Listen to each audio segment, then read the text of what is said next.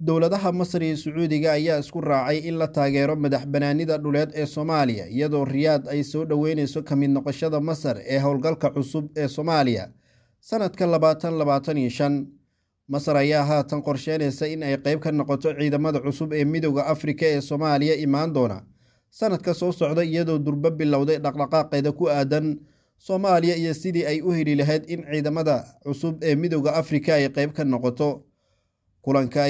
kulan ay magaalada qaahira ku wada yeesheen madaxweynaha masar cabdilfataax al siisi iyo dhaxal sugaha sacuudiga. Ahna ra'iisul wasaaraha dalkaasi maxamed bin salmaan ayay labada dal xooga ku saareen kulankooda sidii loo xoojin lahaa iskaashiga dhinaca amniga iyo nabadda ee gobolka gaar ahaan soomaaliya.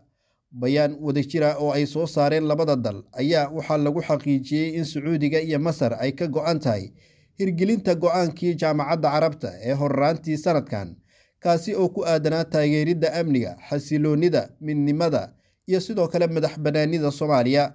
Sidoo kale waxay labada dowladood xoojiyeen muhiimadda ay leedahay u hoggaansanaanta mabaadi'da daris wanaagga horumarinta nabadda iyo sidoo kale ka fogaanshaha xiisadaha iyo colaadaha ka dhici kara gobolka. Sacuudiga ayaa haatan muhiimad gaara siinaysa ka qayb noqoshada masar ee howlgalka soomaaliya isaga oo soo dhoweeyay dadaalada joogtada ah ee qaahira ay ugu jirto xasiloonnida iyo ilaalinta midnimada iyo wadajirka dhuleed ee soomaaliya. Waxa uuna si gaara uga mahad celiyey masar dalabkeeda ku aadan ka qaybgalka howlgalka cusub ee nabad ilaalinta ee soomaaliya kaasi oo la filayo in uu door muhiima ka ciyaaro xaaladda geeska afrika. Si kastaba arrintan ayaa imaanaysa xilli ay ka sii darayso xiisadda soomaaliya kala dhexeysa etoobiya taasi oo ka dhalatay kadib markii horraantii sanadkan abiy axmed uu heshiis la galay madaxweynaha somalilan